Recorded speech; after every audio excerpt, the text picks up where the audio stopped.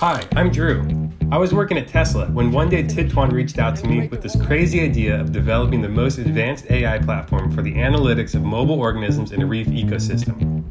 Oh, sorry, that wasn't clear? Let me introduce ReefOS.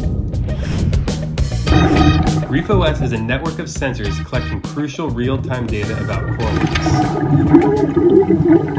Thanks, Eve. I'm glad you asked. We're training an AI platform to measure the health of the reef by tracking fish population and coral growth to better understand the impact of your restoration efforts over time.